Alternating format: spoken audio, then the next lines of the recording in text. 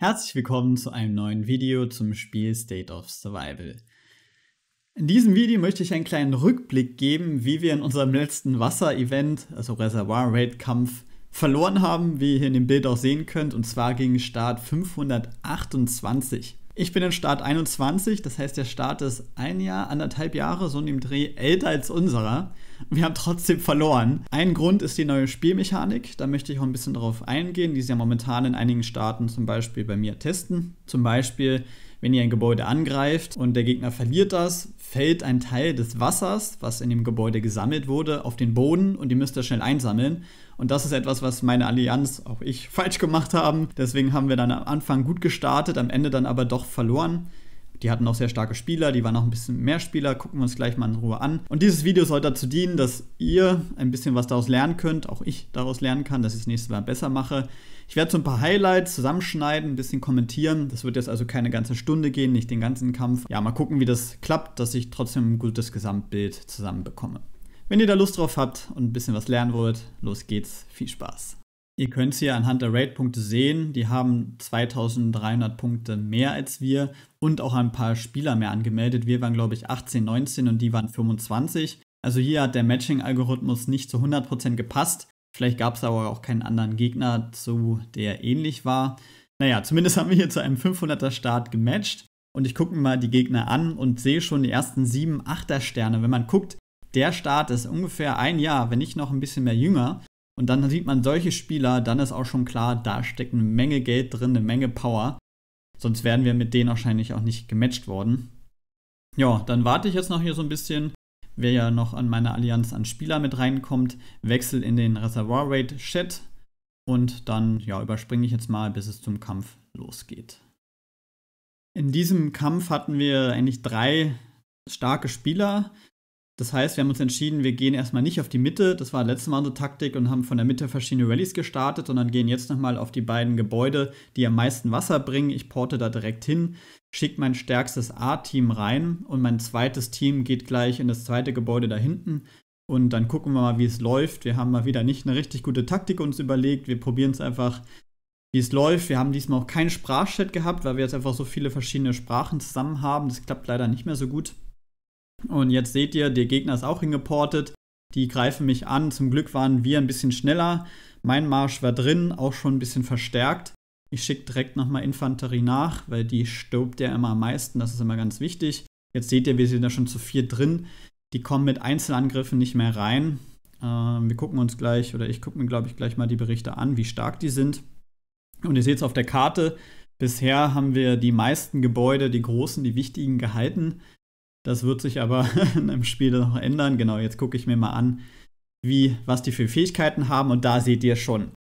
Rote Medaillen, komplett rote Ausrüstung, da komme ich noch lange nicht an. Das Einzige, warum meine Werte hier besser sind, weil ich einfach zwei Heldengenerationen höher habe. Wir haben Generation 8, die haben Generation 6.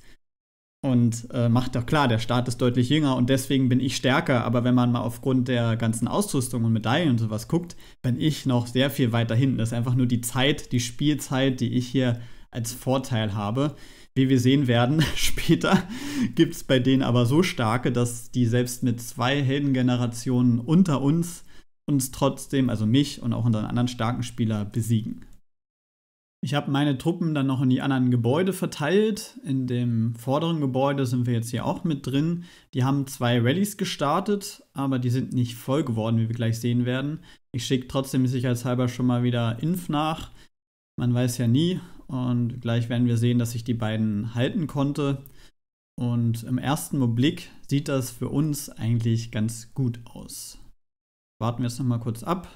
Jetzt ist die Rallye abgeprallt und ich glaube, ich öffne jetzt gleich nochmal den Bericht.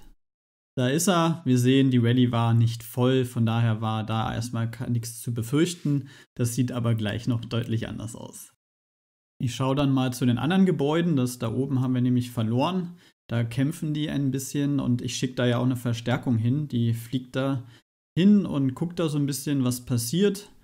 Und da läuft jetzt wieder ein Angriff. Da haben wir uns die dann wieder geholt im Ping-Pong-Spiel. Und daraufhin versuche ich dann da in das Gebäude nochmal rein zu beschleunigen. Meine Truppen mit reinzuschicken, dass wir das Gebäude dann noch halten können, dass es nicht direkt wieder rausfliegt. Da seht ihr, mein cooler Flieger kommt angedüst. Ich weiß gar nicht, ob wir es danach halten können. Gucken wir gleich mal, da läuft ein Angriff rauf.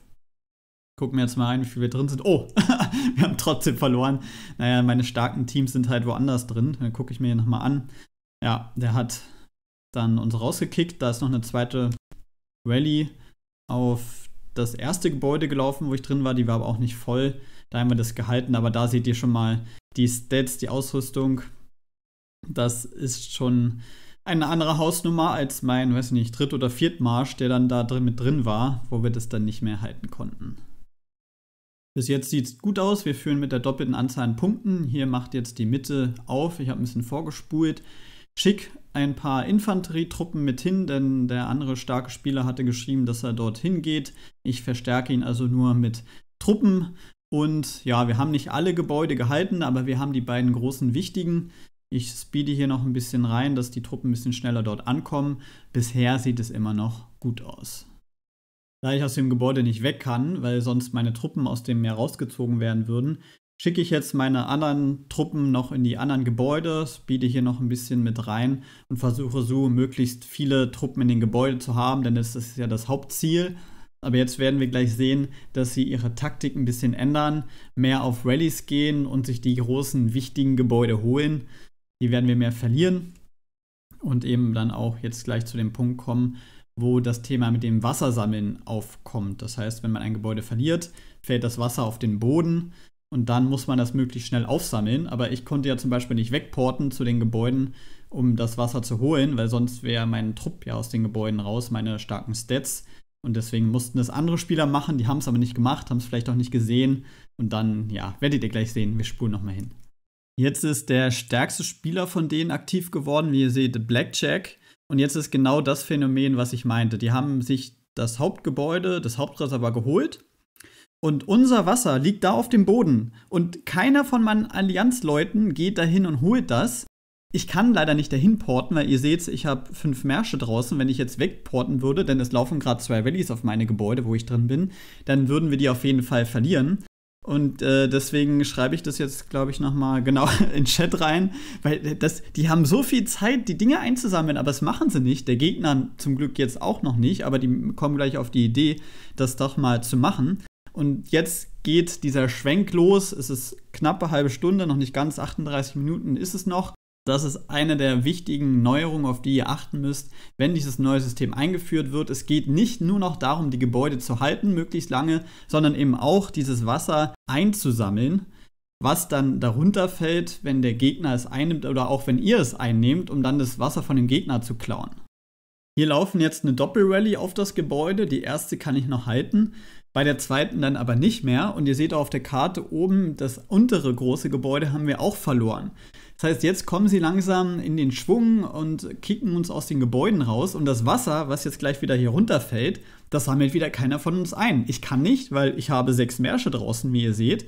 Ich versuche jetzt hier irgendwie noch was zurückzurufen, die Verstärkung, aber komme mir nicht so richtig klar. Und der Gegner sammelt hier ganz genüsslich dann das Wasser ein, was wir halt ersammelt haben. Und das ja, nimmt halt der Geschichte seinen Lauf. Jetzt ist der Punktestand von fast gleich. Ich porte daraufhin zur Mitte, weil wir uns geeinigt haben, dass wir versuchen, die Mitte wiederzuholen. Dass wir also Doppel-Rally starten, weil alleine kommen wir nicht durch. Ich mache dann zwei Minuten mit meinem stärksten Team und versuche dann mit meinem zweitstärksten Team das Gebäude dort nochmal zurückzuholen, auch wenn ich weiß, dass wir nicht so viele Chancen haben, aber vielleicht sind die ja geschwächt oder die stecken nicht genug Verstärkung mit ins Gebäude rein und ja, naja, wir probieren es einfach aber wir werden gleich sehen, dass wir selbst mit einer Doppel-Rally, ja, die war nicht perfekt getimed, aber abprallen und dann selbst mit zwei Angreifern hintereinander weg diesen Blackjack-Spieler, den stärksten Spieler, nicht aus dem Gebäude raushauen können.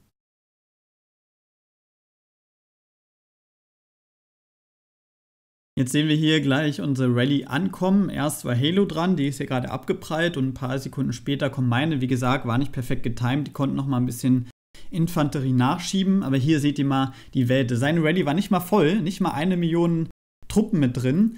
Komplett rote Medaillen. Und der hat schon Tausender Werte. Er hat auch noch den Joker-Held.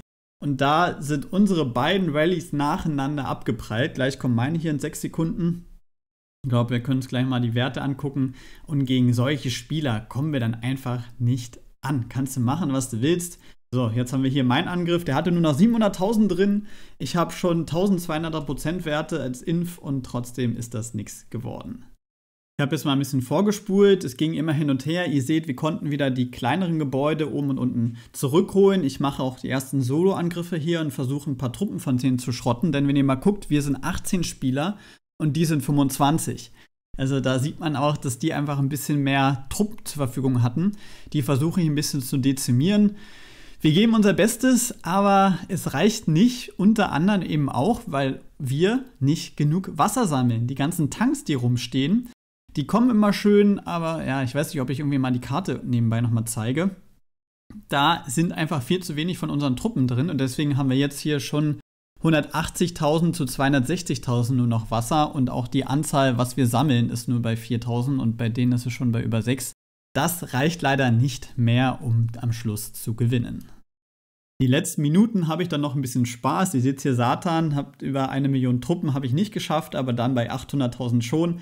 Das ist natürlich der Vorteil. Der hatte hier nur schlechte Helden zu Hause und dann aber auch der Start ist natürlich sehr viel jünger und die kleineren Spieler, die jetzt kein Geld ausgegeben haben, die dementsprechend nicht so stark sind, da haben wir jetzt hier den Vorteil, dass wir die solo einfach platt machen können. Bringt uns nichts mehr zum Gewinn, die Wasseranzahl holen wir nicht mehr ein, aber naja, ich habe ein bisschen Spaß. Die letzten Minuten laufen. Ich gucke nochmal auf die Karte. Jetzt könnt ihr sehen, da sind lauter Wassertanks, die nicht besetzt sind. Der Gegner zum Glück momentan auch nicht, aber das sind die letzten Minuten, die wollen sich schon Punkte holen. Davor war die Karte fast komplett rot. Und wir haben uns halt hauptsächlich um die Gebäude gekümmert. Ihr seht, wir haben auch immer noch die Mehrzahl der Gebäude. Aber das reicht mit dem neuen Spielmechanismus einfach nicht mehr aus. So, jetzt habe ich hier noch ein bisschen Spaß. Die letzten zwei Minuten versuche ich noch ein Gebäude zu holen, knüppel alles drauf, was ich habe. Sony brennt da nebenbei auch ein paar andere Spiele ab. Und ich glaube, ich komme da auch direkt rein. Genau, und jetzt fällt wieder das Wasser drumrum. Ich versuche das ein bisschen einzusammeln, aber zack, guck mal, da kommt direkt der andere Spieler und holt sich das schneller. Also, das ist wirklich eins, was ihr hier draus mitnehmen müsst. Dieses Wasser, was runterfällt, ist sehr, sehr wichtig. Ich versuche hier das so ein bisschen einzusammeln. Naja, im Prinzip wäre es sinnlos gewesen. Ich wollte es einfach mal ausprobieren, wie das funktioniert. Und dann hatte ich irgendwie Lust, den nochmal anzugreifen, um mal zu gucken, ob da mal ein paar Truppen drin sind, weil das war der, der mich schon die ganze Zeit geärgert hat. Der ist ähnlich stark wie ich. Guck einfach mal, ob er noch Truppen drin hat. Ziehe jetzt sogar noch meinen stärksten Trupp wieder raus aus dem Gebäude, um äh, bei ihm mal ein bisschen anklopfen zu gehen, weil ich habe noch relativ viele Truppen. Dann sieht man aber, okay, 1,3 Millionen, das habe ich mir dann doch geschenkt. Damit sind wir bei unserer Niederlage hier angekommen. Was ist mein Fazit? Es ist sehr, sehr, sehr wichtig, dass ihr euch um das Wasser kümmert, was aus den Gebäuden rausfällt, wenn der ein oder der andere das Gebäude verliert und dass ihr da wirklich schnell seid. Bildet am besten ein Team oder so, was sich nur darum kümmert, die viele Porter im Rucksack haben, geht vielleicht im Sprachchat, wenn ihr das schafft, wenn ihr eine einheitliche Sprache habt oder sonst versucht es mit Englisch und kümmert euch auch um die Wassertanks. Ich kann es nicht oft genug sagen, die Wassertanks haben den Vorteil, dass sobald eine Truppe nur drin ist, das reicht völlig aus, dass Wasser schon gesammelt wird und ihr es auch nicht mehr verlieren könnt, wenn euch jemand daraus kickt. Was gibt es sonst noch zu sagen? Ja, das Matching mit einem sehr viel jüngeren Start, habt ihr gesehen, hat trotzdem, fand ich, einen guten Kampf geliefert. Deren Stärkste war ein bisschen stärker als wir.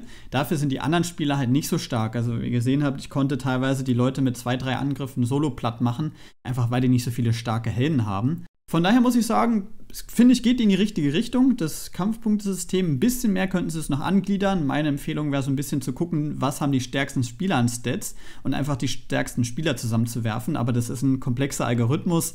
Ich will da nicht zu viel drum herum reden. Ich finde, es geht in die richtige Richtung. Ich hoffe, es war ein bisschen interessant. Ihr habt ein bisschen was gelernt, ein bisschen Unterhaltung gehabt.